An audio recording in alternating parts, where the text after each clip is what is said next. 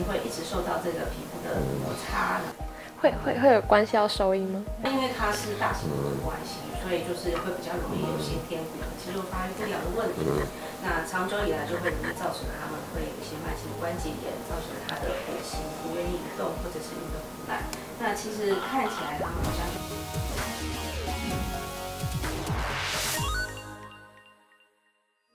嗨喽大家好，我是志奇，欢迎回到七七大挑战。那这一次我们跟台湾动物社会研究会合作，想要让更多人可以深入的了解品种犬背后的健康以及遗传疾病的问题，所以找来了公司有养狗的两个同事 Meg 还有 Mia 呢，要来跟我们一起进行狗狗大挑战。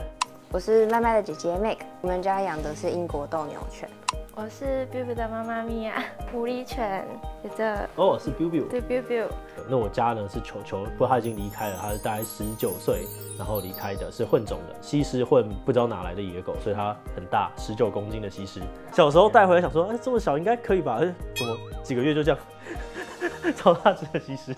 那在大挑战过程当中呢，台湾动物社会研究会的研究员花花，以及台大动物医院的前外科总医师以及主治医师宋佩仪医师呢，也会来帮我们补充跟题目有关的小知识。不过在开比赛之前呢，先让我介绍一下规则。今天我们的大挑战会分成两个阶段哦，第一个阶段是选择题，每题两分；第二阶段呢，则是我们的简答题。但是这边是采讲答制的，所以一题是三分。好，那你们准备好吗？就开始答题喽。第一题，请问狗狗会流汗吗？哇，答案有 A 跟 B，你们要不要分享一下自己家里面狗狗的经验？会，但是它们流的地方是脚掌跟舌头。哦，太细节了吧？好像有这种事情哎，完蛋了。我以为是不会流汗，但是靠手掌跟舌头排散热。印象是它那个皮肤上面没有汗腺这件事情，所以呢，我就直接直觉选了这个东西。呵呵，完了完了，都是我妈在养狗的，什么都不知道，我只负责宠它。答案就是米娅答对了！好，所以这一题呢是米娅得两分，那我们就麻烦花花帮我们来讲解一下这一题吧。好，那其实答案就是会。那虽然大家应该都知道，狗狗散热的方式主要是靠喘气，但其实它们的确也是会流汗的。那狗狗的汗腺有分两种，一种是就是主要分布在脚掌跟鼻子。那汗液蒸发的时候，的确是可以散热，没错，但是这不是它们主要的散热方式。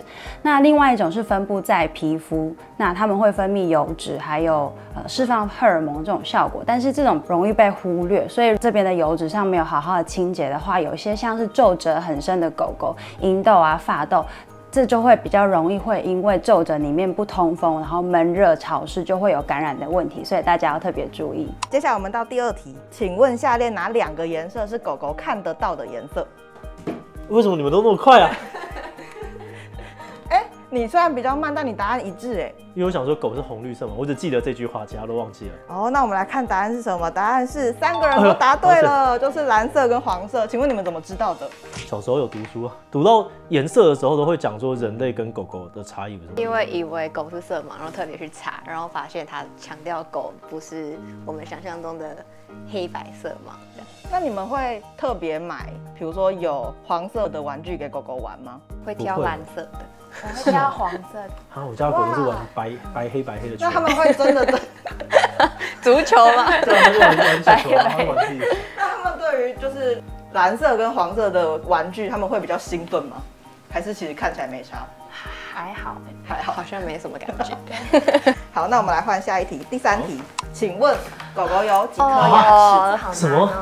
看我可以知得到王王虫有几颗眼睛，我真的不知道这个有几。乱猜哈。biu biu。数一下，数一下，一，看起来蛮少的。这边猜啊，管他好。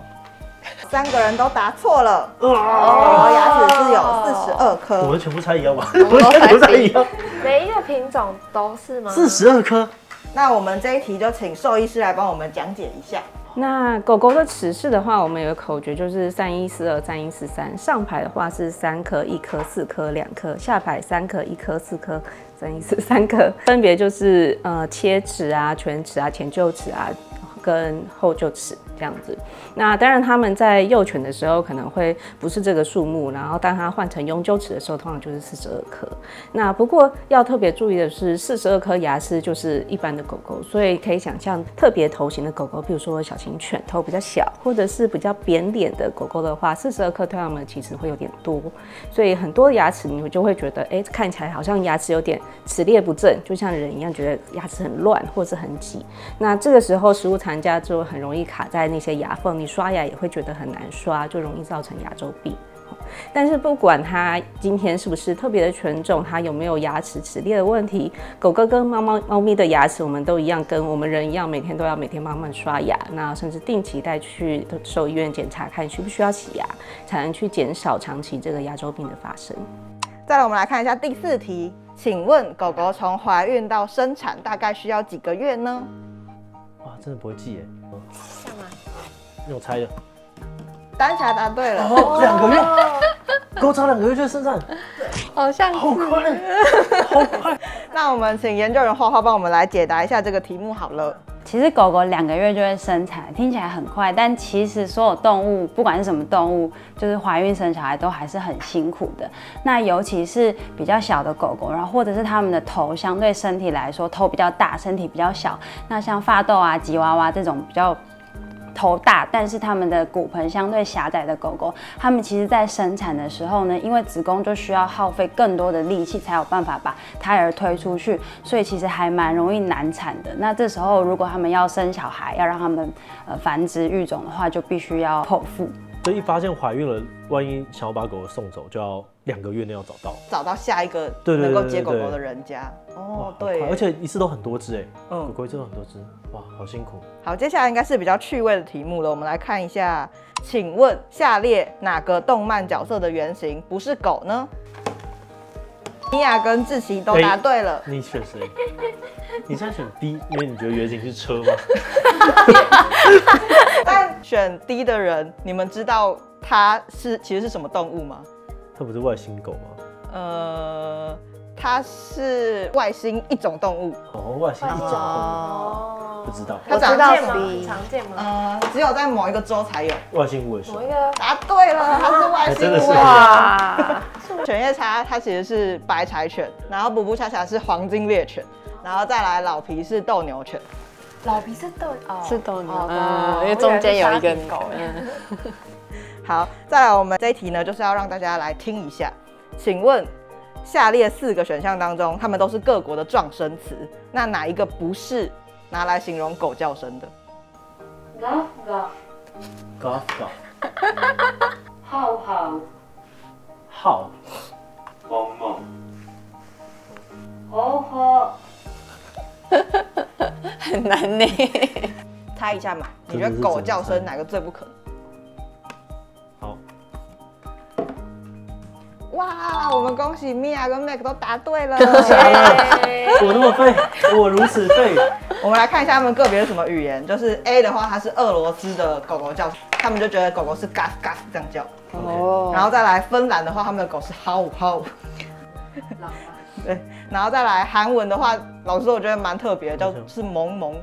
萌萌，对，然后再来就是猪猪选项的话，我选的是日文的猫头鹰的叫声，是吼吼这样，这个蛮像的，嗯，蛮像猫头鹰的，但它跟那个芬兰的浩浩有一点点类似，哦我就拿来混淆你们，结果终于配到志奇，太好了。我就是一直被 谁？你一直被飞。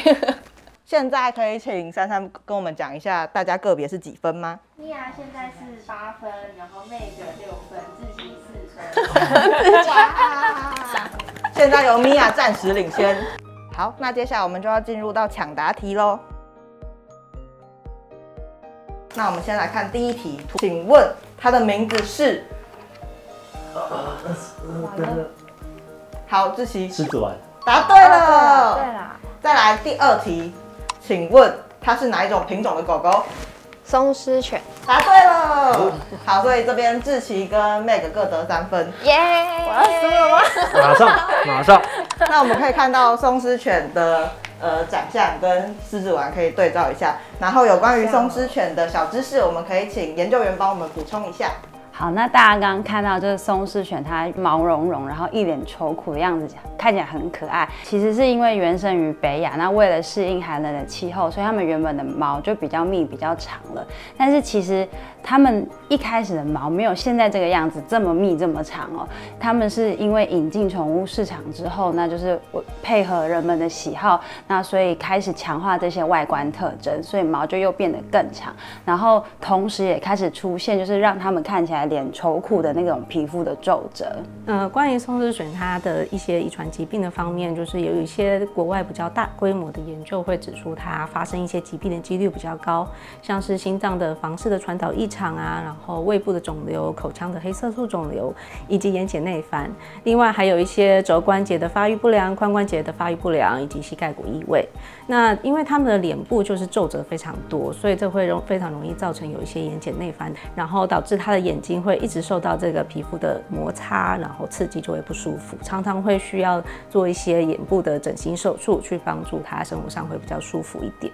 那另外，因为它是大型狗的关系，所以就是会比较容易有先天骨骼肌肉发育不良的问题。那长久以来就会容易造成它们会有一些慢性的关节炎，造成它的跛行、不愿意移动或者是运动不耐。那其实看起来它们好像就躺在那边，但其实它们一直在承受着这些关节的慢性疼痛。所以我们可能觉得它只是懒懒的，没想到可能会不太舒服。下一题也是类似的题目，第三题，请问它是什么品种的狗狗？我知道。好，请米格鲁答对了。大家可以看到，其实就是史努比在最一开始的漫画里面，它其实是没有被拟人化的，它还长得很像一只狗的样子。然后呢，它其实就长得跟黑白米格鲁是非常的类似。然后另外呢，还有一个日本的网友，他曾经分享他们家米格鲁的照片，就是他们家米格鲁的影子，长得就跟史努比现在拟人化的样子也是一模一样。所以大家就觉得说，哇，原来真的是米格鲁啊，这样子。好，那这一题呢，我们一样先请研究员花花来帮我们补充一些小知识。好，呃，米格鲁他们是为了打猎培育出来的猎犬哦，所以他们的活动力非常的强，然后。同时破坏力也就很强，那他们学习力也很强，所以现在其实台湾的弃毒犬就是米格鲁担任嘛。那米格鲁一般来说，大家会觉得他们还算是健康的狗狗，但是因为人为的育种，他们还是一样会有一些遗传疾病的问题。那米格鲁就大家觉得很可爱，不过在医学上，它其实是最常被当做实验 model 的犬种。就任何疾病，有时候如果要做狗的 model 的时候，其实会以米格犬来做。所以其实各种的遗传疾病，它是被研究的比较彻底的，那但是临床的不是有这么的常见吗？其实不一定。不过我们比较常见，可能像是心脏的二尖瓣疾病啊，然后比较多的是内分泌的问题，像是糖尿病、肾上腺功能亢进或者是低下，或者是甲状腺功能低下这些事情，以及跟内内分泌相关的肿瘤。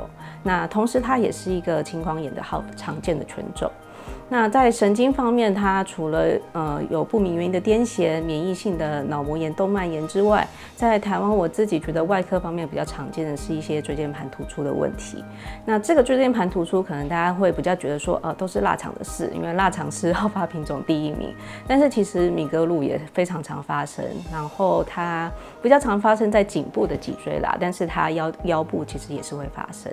所以有时候你会觉得它好像躺在地上不想动，然后其实它可能是在。在承受着轻微的背痛，那严重一点可能就会觉得他走路像喝醉酒一样，走路不稳，那甚至到最严重瘫痪都有可能，所以这个可能都是需要呃早期就医啊，然后严重的时候是需要手术帮助的。那接下来我们一样要进入到同类型的第三题哦，请问它是什么品种的狗狗呢？比格鲁啊，不是黄 金黄金猎犬。米娅答对了，米娅这一题得三分。布丁狗它就是黄金猎犬，这个是有写在他们 Twitter 的介绍上面，它就是就是相信网络上面的言论，不是，这是作者设定的。有一次帮他们家黄金猎犬要庆生的时候，就帮他戴上了一个小帽子，然后就觉得很可爱，就把它画了下来，它就变布丁狗。哦，我好。那接下来再麻烦呃研究员花花帮我们介绍一下有关黄金猎犬的小知识啊。黄金猎犬是大家都还蛮喜欢的大狗狗，因为它们其实大家都知道，它们对动物啊，然后对小孩都特别的友善，然后很温柔。那我们常见的辅助犬、治疗犬也都是由黄金猎犬来担任。那黄金其实一开始被培育是用来要猎水鸟的，所以它们其实还。多数都蛮会游泳的，是游泳健将。但是也因为人为育种，它会有基因检测的关系，所以其实黄金有还蛮多会看到说有一些会严重影响生命品质的遗传疾病哦。呃，在各种肿瘤的研究中，其实黄金常常都是在好发的名单里面。那其中像是我们比较常见，像是血管肉瘤、淋巴瘤、肥大细胞瘤及骨肉瘤，都是临床上非常常见到的类型。那比较难过的是，就有很多肿瘤其实也很容易发生远端转移，意思就是说它不是只有在你发现的地方，你可能发现地方把它切掉或是截肢，它其实也会跑到其他器官去。所以到最后，其实对于狗狗跟饲主都很辛苦。那另外另外一个呃，可能大家都会知道，它比较有很高比例会发生的就是髋关节的发育不良。那这个髋关节发育不良，常常是他们一生都要面对的事情。在幼犬的时候，非常非常年轻的时候的早期诊断，有机会可以做一些特殊的手术去帮助改善它髋关节的包覆的角度。但是超过适合手术的月龄，或是它已经开始有一些慢性的骨关节炎的时候，这个时候就可能大部分都是人以复健或是内科疗法长期去控制它的慢性疼痛。最后一步通常就是要做到人工髋关节的置换了。下一题，请大家帮我连一下，最快好的请举手跟我说。什么？八哥英国斗牛犬这是啥小？好，我来看一下哦。好，丹霞答对了。是什么？这个最快了，就是因为他们都是比较皱的狗，短鼻的，所以你有因为养英国斗牛犬，对比较皱的狗狗们都有比较深的认识？好像有，因为很常被问，哦，就是大部分看到我们家的狗都会说那个是八哥，不然就说它是发豆，然后我们就要一直跟他解释，没有发豆是立耳，然后玫瑰耳是那个英豆才是垂的，然后大小什么好像也都有一些差别。那这边就请呃我们的研究人花花来帮我们解释一下这些犬种它们的特色到底是什么。那大家刚刚看到那些觉得很难分，就是因为他们的共同点都很明显，就是扁扁的脸，然后短短的鼻子。那他们其实都叫做短吻犬。那其实短吻犬有这样子的特征，是因为大家觉得这个特征很可爱，所以就用基因检的方式，然后人工育种去制造。然后，那它之所以叫短吻犬，就是因为它的鼻腔跟口腔这边很短嘛，所以它们里面的空间其实就是比一般的狗还要小。可是它却要塞跟一般的狗一样多的器官，所以就还蛮常会有健康问题会发生的。那其实这些特征因为是被制造，被其实每一只狗不同的狗，它长什么样子都是被规定好的。像是发豆来讲，它的口呃，它在犬种标准里面，它的口吻长度就只能是头部总长的六分之一而已，所以他们还蛮多相关的呃健康问题。那其实呃，因为为了要保障动物的基本福利，挪威今年他们其实已经禁止繁殖英国斗牛犬跟查理士小猎犬，它们都是短吻犬。那当然也是因为它们还有一些其他比较严重的遗传疾病。嗯，大概会跟大家提的就是这些短吻犬，很多的时候都会发出那种像猪叫声，就吼吼很大声的那种声音。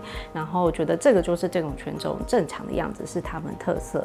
但是其实这个声音不是的，这样声音通常是代表说它的呼吸道其实发育是异常。就像刚刚花花说的，它们的呼吸道其实是比较短，所以它呼吸的时候气流通过，其实造成这里面组织有很多老瘤，才会才发出这样的声音。那除了我们大家都知道，它可能是比较容易喘啊，比较容不耐热，而且很容易中暑。有的时候会看到有些影片，就是他们睡觉的时候会喜欢把头靠在一些，比如说枕头上，然后他会把他的头尽量就是让脖子伸得很直，头比较高，或者是咬咬咬着娃娃睡觉，让他的嘴巴是开着这样子睡的。有的时候甚至他们坐着或站着就可以睡着，然后甚至有些狗就是常常睡到一半，它就会赶快起来清清喉咙，然后换一个位置。那这些其实都代表它在在睡觉的时候呼吸是很不顺的状况，所以他就会一直有这些反反复复的动作。然后我们可以想想看，我们平常自己睡不饱，或者是我们感冒鼻塞难受的样子，其实他们在有这样症状的时候，他们一直都是在呈现这样子的不舒服，这样的不适。那接下来一样是连连看的问题，一样先连好的跟我说。这题志奇应该比较会吧？这题我比较会，但是我要想一下问什么东西。好，我们来看一下米娅的答案。我 A 念的可以吗？因为我画太丑了，我想要抢快。A 不是科校吗？然后 B 是马尔济斯，C 是博美第一次谢纳瑞。没有错。这样子，米娅得三分，在这个部分呢，他们都比较属于中小型犬的部分。那我们一样请花花来帮我们介绍。那其实刚刚这四只狗，它除了雪纳瑞它是小型犬以外，其他三只都是迷你型的，就是比小型还要小。那它们是在四公斤以下。那其实就跟刚刚讲的短吻犬有一个犬种标准一样，那小型犬种它都也会被各自要规定它的体重。那像约克夏，它就不能超过三点二公斤，所以它这个体重其实是全世界应该算是体型第二小，仅次于吉娃娃的狗狗。那小型犬比起其他中大型犬来讲，因为它们的前肢看起来就是会比较细的。那除了前肢细小之外，它的骨头它里面的血液供量本身的含量都都会比较少，覆盖的软组织像是肌肉啊这些皮下也都会比较少，所以非常容易就是在家里稍微的从这么高的地方跳下去，然后它的脚就骨折了。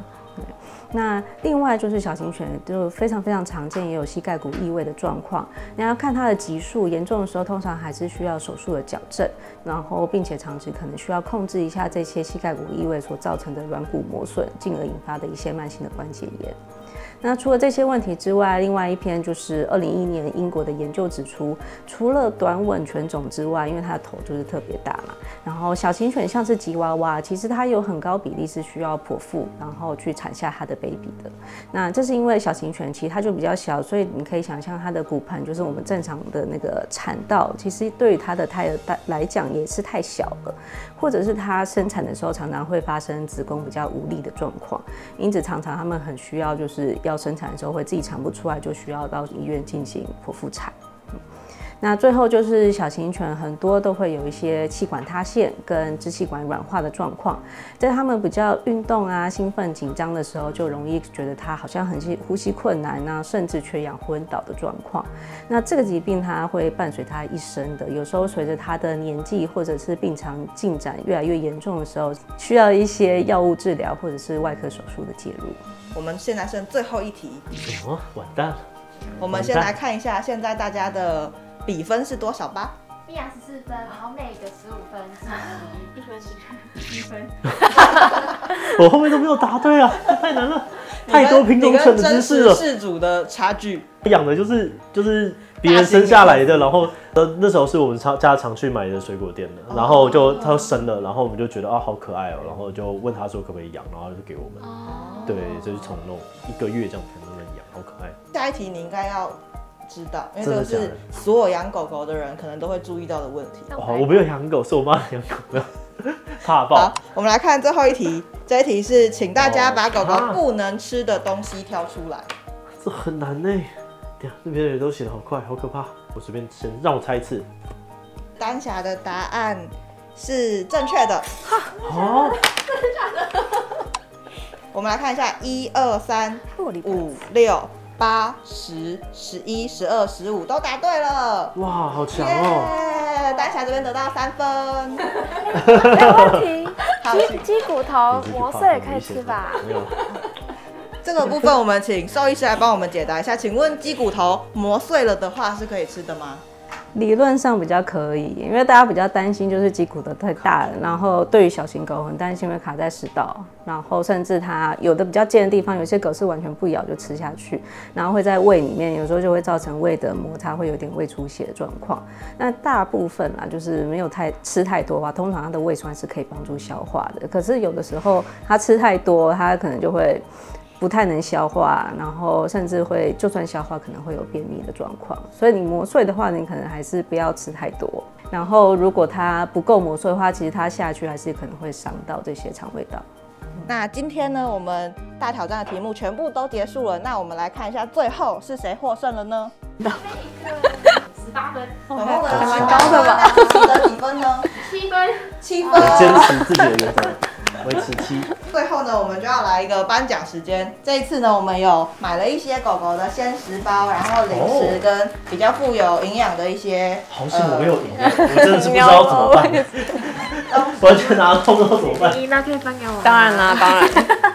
送吗？不行。第二步马上就第二步你看到食物就行了。OK，那今天兽医师跟研究员帮我们补充了很多有关狗狗的小知识，也提醒我们哦，许多人喜爱的这个各式品种犬，在人为育种啊，还有这个检测基因的过程当中，会带给狗狗很多健康还有遗传疾病的风险。那他们协会最近也做了一个品种犬健康及遗传疾病图鉴的网站，主要就是希望能够让大家可以更深入的了解繁殖饲养品种犬的议题。那我们就请花花来帮我们介绍一下这次的网站吧。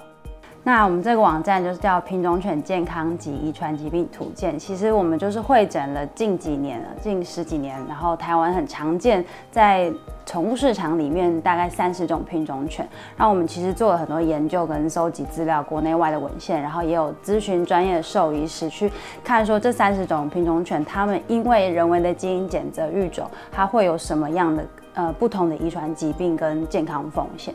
那其实要之所以会建立这个网站，是因为我们发现很多人对于狗狗的认识啊，会停留在好可爱、好聪明、好呆萌，但是其实对于他们，因为他们这些可爱的这种大家比较喜欢的特征而被定制出来健康的风险认识，其实却很少的。那我们希望这个网站啊，可以让想要饲养品种犬或者是已经在养的，他们可以对品种犬的遗传疾病有更多深入的理解。那也希望大家可以就是试着拿掉可爱的这个滤镜啊，就是想想。育种繁殖它背后的伦理问题，就是不是因为我们想要它们就是符合我们心目中的可爱？如果不是因为这样子，那它们是不是可能可以活得更健康、更快乐？那当然，就最后还是邀请大家可以进入这个网站，然后点进去看每个不同的狗狗都会有一个页面，就是上面有列举了它们的呃相关的遗传疾病跟风险，那就可以去看看，就是多认识，然后关注品种犬的动物福利。那今天真的很谢谢宋佩仪兽医师以及研究员花花。那狗狗大挑战就到这边告一段落了。那很谢谢 Meg 还有 Mia 跟我们一起来玩。那如果大家希望我们可以邀请谁来做什么样的挑战的话呢，都可以留言告诉我们。那么今天的这一期期就到这边告一段落，我们就明晚再见喽，拜拜。